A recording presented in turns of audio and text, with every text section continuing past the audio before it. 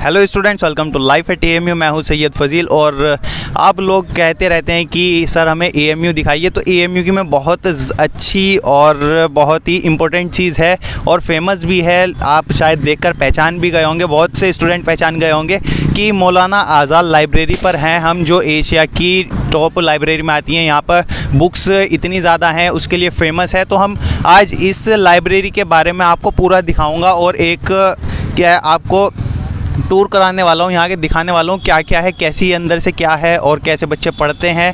तो आपको भी पता होना चाहिए क्योंकि बच्चा आ, बच्चे आना चाहते हैं तो आएँगे तो उन्हें पहले से आइडिया होना चाहिए कैसी है क्या क्या क्या फैसिलिटीज़ हैं।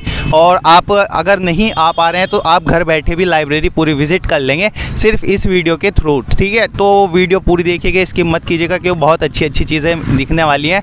बाकी जो नए लोग होंगे उसने बता देता हूँ मैं ए एम यू जामिया वगैरह के बारे में मैं वीडियो बनाता रहता हूँ एंट्रेंस वगैरह के लिए गाइड करता हूँ। तो सब्सक्राइब सभी कर लेना, ठीक है? सब्सक्राइब सभी लोग कर लीजिए, कोई मत छोड़िएगा। अब चलिए हम स्टार्ट करते हैं। देखिए, सबसे पहले हम लोन में हैं। ये पीछे आपको दिख रही है, मौलाना आज़ाद लाइब्रेरी है, ये पूरी इधर से इधर तक बिल्डिंग है और इसके सामने ये लोन है, यहाँ पर भी देखिए बच्चे बैठ के पढ़ते रहते हैं, आप पीछे देखेंगे। तो बच्चे पढ़ रहे हैं, अभी थोड़ा यहाँ पे पिकनिक स्पॉट वाला माहौल बना रखा है तो यहाँ पे वैसे पढ़ते रहते हैं तो आज मौसम थोड़ा ठंडा सा है, इसलिए यहाँ पे आज ज़्यादा भीड़ है, वैसे भी भीड़ रहती है शाम के वक्त तो अंदर भी पढ़ते हैं, यहाँ भी पढ़ते हैं तो ये आप देख सकते हैं, इधर साइड यूनिवर्सिटी का जो मेन रोड है, वही है तो मेन रोड पर ही है आर्ट्स फैकल्टी सामने अब हम अंदर साइड चलते हैं तो अंदर साइड से मैं आपको दिखा देता हूँ लाइब्रेरी कैसी दिखती है। चलिए अंदर चलते हैं। तो यहाँ से देख सकते हैं आप, ये जो मैं लॉन में था, इससे निकल रहे हैं और ये सीधा मौलाना आज़ाद लाइब्रेरी की एंट्री है। तो अब हम एंट्री करने वाले हैं। यहाँ से एंट्री करके मैं आपको दिखाऊँगा सब चीज़ कैसे है।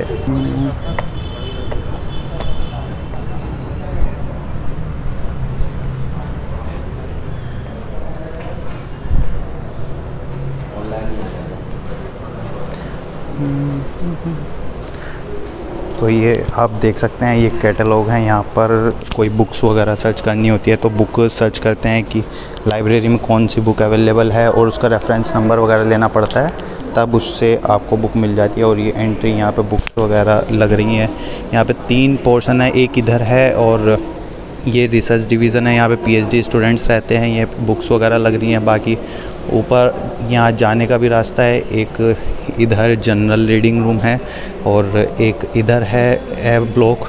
तो अभी हम अलग अलग सभी ब्लॉक्स दिखा देते हैं आपको, सभी अलग अलग रीडिंग रूम। तो हम अंदर साइड जाने वाले हैं, लेकिन कोई वॉइस नहीं रखूँगा मैं, कुछ बोलूँगा नहीं, क्योंकि अंदर बच्चे पढ़ रहे हैं तो इसलिए बोलना सही नहीं रहेगा।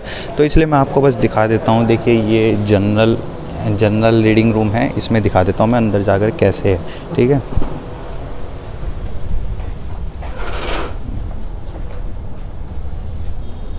तो अब यहाँ पे देख सकते हैं कि हिंदी का कैटलॉग है, जो मतलब हिंदी बुक्स हैं, उनका कैटलॉग है ये। इसमें आप देख सकते हैं अलग अलग टाइप से लिखा है, शर्मा और जो भी हैं अलग अलग से। देखिए, ये इतने सारे हैं तो कैटलॉग है, उस हिसाब से नाम वगैरह से सर्च कर लेते हैं। तो अब हम एक एम आर रीडिंग रूम है, जो उसमें जाने वाला है। ये देखें एम आर रीडिंग रूम है, इसमें मैं बोलने वाला नहीं हूँ, दिखा देता हूँ आपको बस एक से व्यू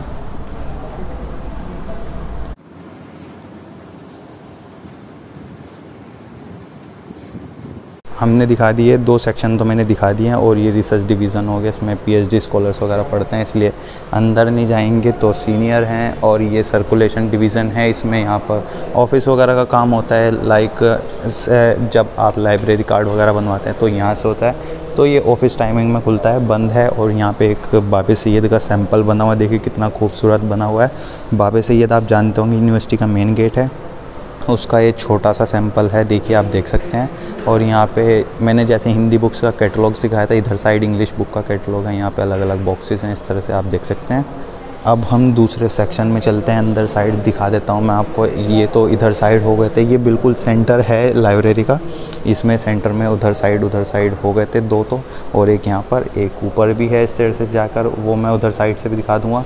एक अंदर जाकर है, जहाँ न्यूज़पेपर वगैरह रहते हैं, लेकिन हम इधर साइड चलते हैं पहले, इधर साइड दिखा देते हैं। तो इधर साइड ये नोटिस बोर्ड वगैरह भी हैं तो नोटिस वगैरह लगते हैं, और ये हम अंदर जा रहे हैं, थोड़ा अंदर को है, देखिए, गलिया टाइप बनी हुए हैं और लेकिन खूबसूरत, बहुत अच्छी खासी बनी हुई है, अंदर से आप देख सकते हैं। इसीलिए मैं आपको अंदर का पूरा व्यू दिखाने लाया हूँ और ये इधर साइड वॉशरूम वगैरह है वॉशरूम तो क्या क्या क्या ही दिखाएँ, ठीक है, जैसा होता है, उधर साइड एक तो ये हो गया, यहाँ पे रीडिंग रूम सेक्शन हो गया ठीक है टीएसडी बोलते हैं, इसमें अंदर पढ़ रहे हैं, वैसे ही बस चेयर टेबल वगैरह लगी हुई है, मैंने जैसे दिखाया वहाँ पर।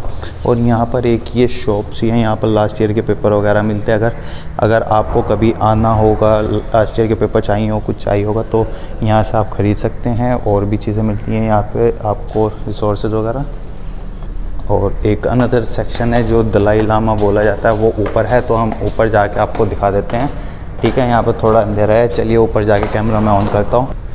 तो ये वाला सेक्शन बंद है, लेकिन यहाँ पर मैं आपको बता देता हूँ, बच्चे जब पढ़ने आते हैं, यहाँ पे शोर वगैरह बहुत ज़्यादा करते हैं। तो यहाँ पर दिखा देता हूँ, फिर भी देखिए, अंदर से दिखा देता हूँ। जैसे चेयर टेबल रखी हुई हैं, देखिए आप देख सकते हैं। चेयर चेयर टेबल लगी हैं। ऊपर कोई एसी की फैसिलिटी नहीं है, नीचे एसी लगी हुई है यहाँ पर। यहाँ पर आपको पंखे में बैठना पड़ेगा। नीचे पूरा एसी है फुल्ली एसी है। तो यहाँ से हम वापस चलते हैं और आपको मैं न्यूज़पेपर रीडिंग वगैरह का दिखा देता हूँ और एक और सेक्शन है, वहाँ पे न्यूज़पेपर वगैरह भी मिलते हैं। तो वहाँ से भी बहुत खूबसूरत है। आपको ये नहीं लगना चाहिए वीडियो ख़त्म हो गया अभी तो। आपको बहुत अच्छी जगह दिखाने वाला हूँ मैं। ठीक है, चलिए वहाँ पहुँच कर हम कैमरा ऑन करते हैं। तो यहाँ पर हम एक दूसरे सेक्शन में आ गए यहाँ पे जब मैं बता रहा था न्यूज़पेपर वगैरह, देखिए। सबसे पहले मैं आपको दिखा देता हूँ, यहाँ पर वो सामने बच्चे पढ़ रहे हैं, बीच में सर्कल्स है, उधर जो सामने हैं न्यूज़पेपर वगैरह रहते हैं, यहाँ पे बच्चे पढ़ते भी हैं और ये इधर गर्ल्स का रीडिंग रूम है गर्ल्स ही अवेल अलाउ है यहाँ पर। तो ये था एक और जो बाकी हैं वो भी मैं दिखा देता हूँ। तो हम करीब से आगे आपको दिखा देते हैं तो लेकिन बोलेंगे नहीं यहाँ पर। ये थोड़ा बस शो के लिए ऐसे ही बना रखा है। देख देख सकते हैं, यहाँ पे बच्चे सुकून से पढ़ रहे हैं, आराम से अपना बच्चे फोकस पढ़ रहे हैं। यहाँ पर देखिए, एक सेक्शन ये भी हो गया कंप्यूटर एप्लीकेशन डिवीज़न का हो गया, और यहाँ पे मैंने स्क्रिप्ट डिवीज़न है, इसमें एक म्यूज़ियम टाइप है, उसमें बहुत सारी चीज़ें रखी हैं, अभी बंद है, ये खुलता है तभी और ये एक सेक्शन ये भी हो गया, यहाँ पे भी पढ़ने का है। तो अलग अलग सेक्शन बने हुए हैं कि अलग अलग टाइप का बैठने के लिए। ऐसा नहीं है कि एक ही सेक्शन है, एक ही जगह हो गया अलग अलग हॉल्स हैं, अलग, बस कोई फैसिलिटी वगैरह तो अलग नहीं। ऐसे ही अलग अलग बना रखा है ताकि एक जगह इकट्ठे ना हो ज़्यादा, उसमें ज़्यादा पढ़ाई नहीं हो पाती इसलिए। अलग अलग बना रखे हैं और बाकी बुक्स वगैरह अवेलेबल हैं। वो मैंने जो दिखाया था ऑफ़िस वहाँ पर अंदर जाकर बुक्स वगैरह मिलती हैं। उसमें बुक्स आपको मिल जाएँगी कि अगर आपको बुक इशू करानी है, उसमें लाइब्रेरी कार्ड बनता है, उसके हिसाब से आपके इलेक्ट्रॉनिक कार्ड होता है, उसके आपकी बुक होती हैं। बुक्स मिलती हैं, उसमें अवेलेबल हैं और आपको पता है लाखों बुक हैं यहाँ पर। यहाँ पे बहुत ज़्यादा बुक्स अवेलेबल हैं और कितने एक महीना वगैरह जितना भी रहता है आपको इशू करानी होती है, मिल जाती है। तो मैं दिखा दूँगा। बाकी फिर कभी जहाँ से बुक इशू होती हैं बुक्स कितनी सारी रखी हैं, पूरा एक बिल्डिंग है, वहाँ पे बहुत सारी बुक्स हैं, मैं आपको किस दिन दिखा दूँगा। अभी वो बंद है और यहाँ पे हमारी वीडियो एंड हो जाती है। बाकी और भी चीज़ों के बारे में दिखाता रहूँगा, बस इसलिए चैनल पर बने रहिए। वीडियो लाइक कर दीजिएगा, बहुत मेहनत से बनी है और चैनल सब्सक्राइब करना मत भूलिएगा। वीडियो देखने के लिए थैंक यू